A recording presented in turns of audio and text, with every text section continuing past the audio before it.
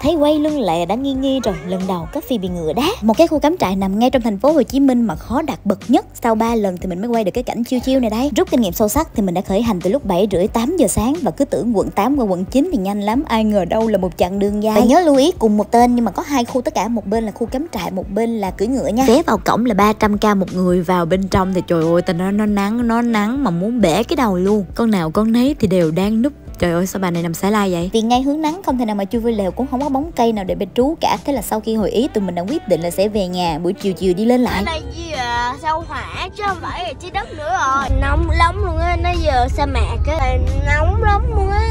Về nhà với mọi người chứ. Ở đây à mà phải đi sớm sớm á May mà hôm nay mình ăn sáng rất là sớm là bởi vì hắn ta đã đòi từ tối hôm qua lần. Mẹ ơi, cái gói phô mai này ngon lắm cho ăn không nữa mẹ. Mẹ nghĩ là phải trộn với mì thì mới ngon nè Nó ghi chữ trộn đàng hoàng nè. Để mai đi cắm trại mẹ trộn cho con nha. Dạ ok. Đó cô chú thấy không, mẹ tính là để dành cho cắm trại ăn Nhưng mà ai ngờ đâu hắn ta đã đòi liền buổi sáng. Con rất là thích mì omachi sauce spaghetti. Bỏ vào tô, cho gói rau vào rồi chế nước sôi vô Chờ trong vòng 2-3 phút. Vớt ra, bỏ sốt bào bông và sốt cà chua. Đừng quên gói. Phô mai never sai. Em bé thì khoái khoái, người lớn ăn một lần là nhớ mãi. Ngon nhất là ăn một quả trứng úp là Cùng ăn thôi. Cứ ba miếng xong con miếng, ba miếng con miếng Vậy mà hết được nguyên tô. Mỹ mãn là đây, chính hương vị này. Nhưng mà con thấy cái mì này nó làm sao?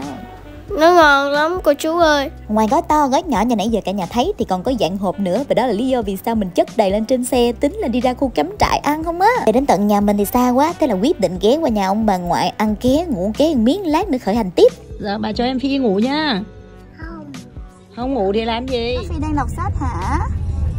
Chuyến đi nào mà lên kế hoạch thiệt là chi tiết trước đó mấy ngày thế nào nó cũng bất ổn hết trơn hết trọi. Nhưng mà không sao cuối cùng thì mình cũng đã đang ở đây. Vé vào cổng là 300k đã bao gồm luôn cả một suất ăn buổi tối. Ấn tượng nhất thì là khu chuồng trại huấn luyện các bạn ngựa. Nhưng mà đây rất là nhiều những cái bạn thú khác và các em bé có thể vui chơi thỏa thích. Muốn cửa trải nghiệm thì nhớ đăng ký trước nha đồng dữ lắm luôn á. Em bé trên 6 tuổi thì tính là người lớn 609 45 phút. Ừ, các bạn thú thì đa dạng và hiền hòa dữ lắm. Cứ ba gấu phút ve là ok la mà đến coffee thế nào nó cũng co chân nó đá. Người ta thiết kế chính giữa sẽ là cái khu chạy ngựa lúc nãy là cái khu sở thú và bây giờ đằng sau sẽ là khu cắm trại một cái lều như thế này sẽ là 700k một ngày nếu mà mình không có lưu trú lại còn nếu ở qua đêm sẽ tính là 700k một người. Có hai dạng là lều vải và lều xe mình thấy khá là mới nội thất bên trong thì cũng có quạt thổi đá nhưng mà vẫn nóng lắm. Tốt nhất là hãy ra ngoài và tham gia trò chơi tập thể thí dụ như là thả diều đi chụp hình ngồi đó chiêu chiêu hay là mình sẽ chơi bắn cung. Đồ ăn đã bao gồm nhưng mình cũng nhớ đặt trước là người ta đặt cái tên lên bên trên cái bàn. Sau một tiếng rưỡi chờ đợi thì cũng đã đến lượt em bé được lên ngựa rồi. Ừ, bộ giáp này có vẻ hơi bự cô ơi. Thay cho em bé cái khác nhỏ hơn. Trời ơi sao mà có hết size của mấy bạn nhỏ dễ cưng quá vậy ta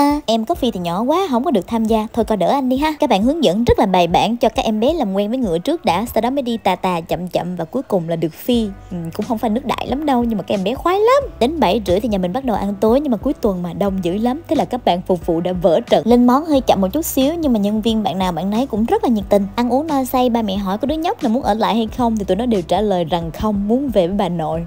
Ủa lần sao ta kỳ á